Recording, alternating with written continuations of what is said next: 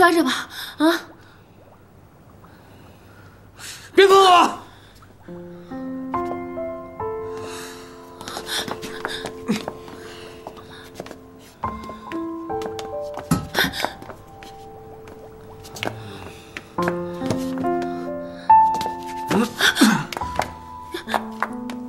阿爷，你没事吧？来，小心。嗯，阿姨，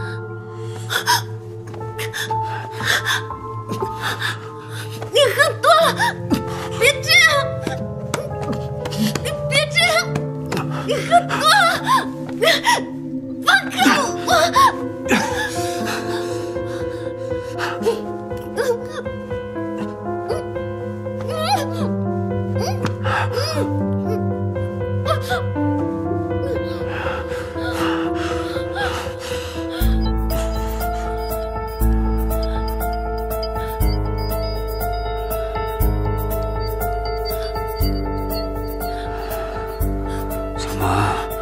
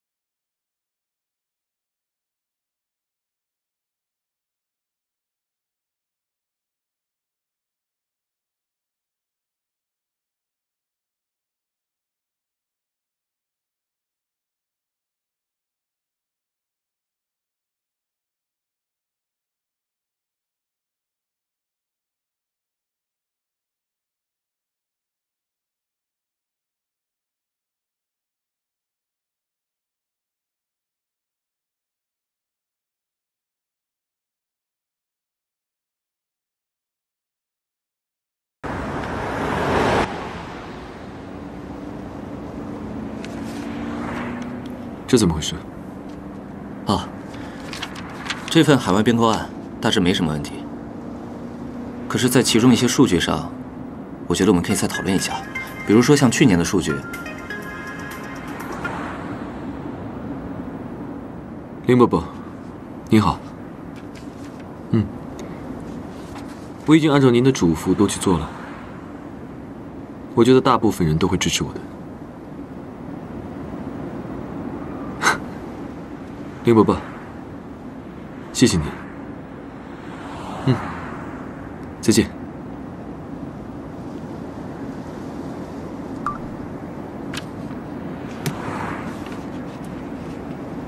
继续。啊，我们先看一下这个，这个是去年的数据。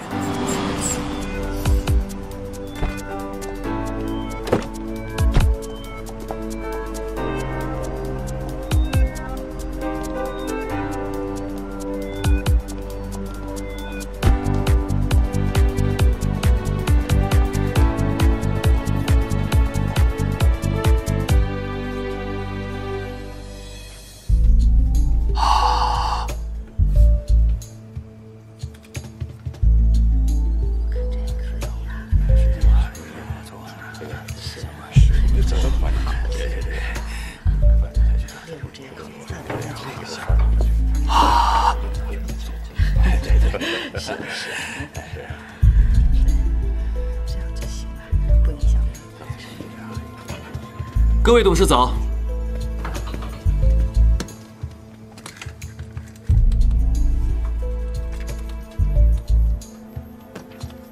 蒋叔叔，您来的好早啊！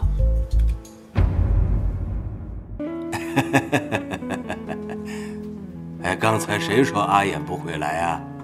我就说他一定会来。啊，来了，阿衍，你没让我食言呢。果然还是蒋叔叔了解我。今天大家都是为了我而来，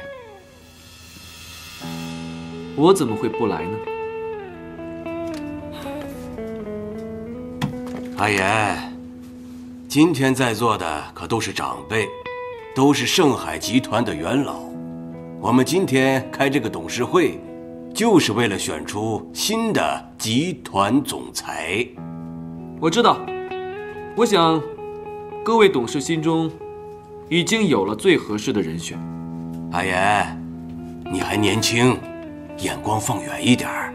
无论我们谁当上总裁，都不会辜负你爸爸的一番心血。江总啊，你说的太对了，我们坐在这里，就是为了让盛海稳健的走下去。嗯，哎，小周啊，你还年轻，啊，这个总裁的位置呢，最好由有经验的长辈来做比较合适。我认为啊，蒋总是最合适的人选，他有能力带领盛海集团走出现在的低谷啊。呃，是啊，我也认为啊，蒋总是最合适的。小周啊，太没经验，他是个运动员出身啊，他懂经济吗？啊，他懂商业吗？所以我认为啊，蒋总是最合适的。我有不同的意见。蒋总的能力和经验，我们谁都不否认。但是，我们要明白，集团要有活力，要有更新的观念。阿衍之前在商界的成绩，我们大家都有所耳闻吧？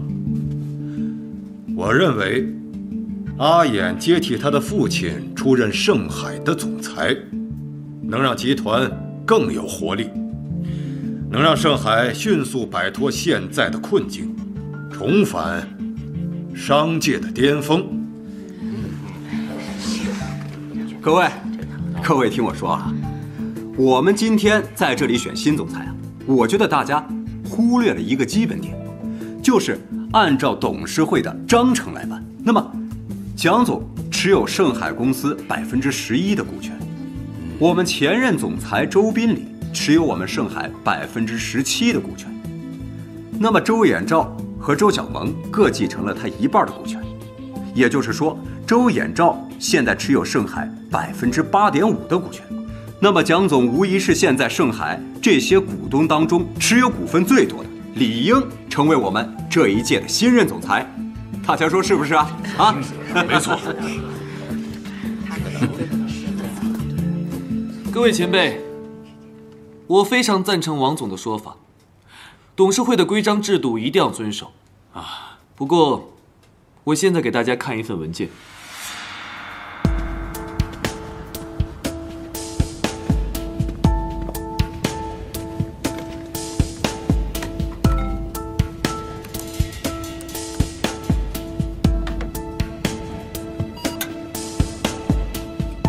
各位请看。